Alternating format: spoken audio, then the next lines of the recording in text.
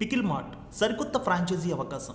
మీ ప్రాంతంలో ఫ్రాంచైజీ కోసం స్క్రీన్ మీద నంబర్ని సంప్రదించండి.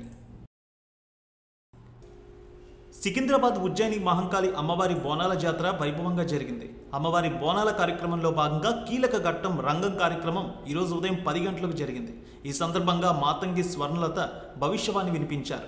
ప్రజలు చేసే పూజలు ఆనందంగా స్వీకరించానన్నారు. గత ఏడాది చేసిన వాగ్దానాన్ని మర్చిపోయారని తెలియజేశారు. మీ అందరికీ అవసరమైన బలాన్ని ఇచ్చానని అన్నారు ఆమె. మీ వెంటే నేను ఉంటానన్నారు. వానలు పడతాయి మీరు భయపడకండి. ఆలస్యమైన వర్షాలు కురుస్తాయి అగ్ని ప్రమాదాలు జరుగుతాయని ప్రజలు భయపడాల్సిన అవసరం లేదని చెప్పారు.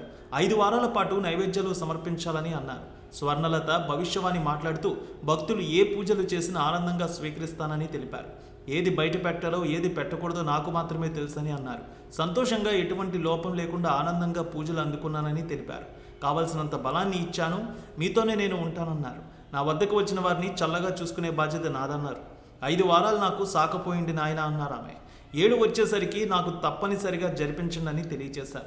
దీంతో రంగం కార్యక్రమం భవిష్యవాణి పూర్తయింది. ప్రవచనం వినేందుకు భక్తులు పెద్ద ఎత్తున తరలి వచ్చారు రంగం కార్యక్రమం నేపథ్యంలో మహంకాళి ఆలయంలో భక్తులకు అమ్మవారి దర్శనాన్ని నిలిపివేశారు. ఈ కార్యక్రమంలో మంత్రి తలసాని శ్రీనివాస్ యాదవ్ పాల్గొన్నారు. పోతరాజుల ఊరేగింపు ఘటోత్సవం ఘనంగా జరుగుతోందన్నారు మంత్రి. లక్షల మంది భక్తులు దర్శనం చేసుకున్నారని తెలిపారు. రాత్రి అంత దర్శనాలు జరిగాయని సీఎం మంత్రులు వివిధ పార్టీల పెద్దలు ఆ దర్శనం చేసుకున్నారన్నారు మంత్రి తలసాని.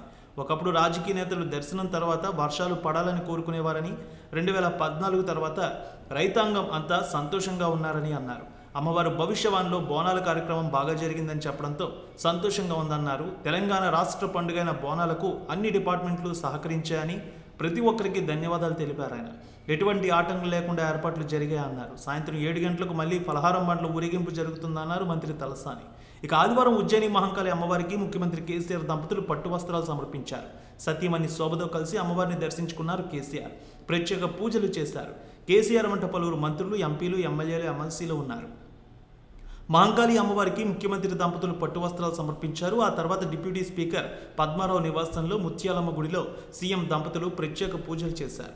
ఆదివారం ఉదయం మంత్రి తలసాని శ్రీనివాస్ యాదవ్ తొలి బోనంతో ప్రారంభమైన ఉత్సవాలు సోమవారం కూడా కొనసాగుతాయి. తెలంగాణ ఆషాఢ మాసమంతా బోనాల జాతర ఉంటుంది.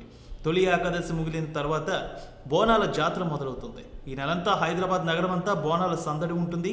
వర్షాకాలంలో చేసుకునే ఈ పండుగకు ప్రత్యేకత ఉంది. ఈ కాలంలో జ్వరాలు అంటువ్యాధులు వ్యాపిస్తాయి. అలా జరగకుండా ప్రజలు ఆరోగ్యంగా ఉండాలంటూ అమ్మవారికి బోనం సమర్పిస్తే అంతా మంచి జరుగుతుందని ప్రజల నమ్మకం. తొలి ఏకాదశి తర్వాత ఈ బోనాల జాతర అయితే మొదలవుతుంది. పండుగ రోజున అమ్మవారికి నిష్టగా బోనం అలంకరించి అందులో నైవేద్యం వండి డప్పు చప్పుళ్ళతో అమ్మవారికి బోనం సమర్పిస్తారు.